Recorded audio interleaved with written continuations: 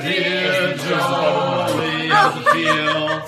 Happy birthday to So dissonant. you. Mochi balls, ladies and gentlemen.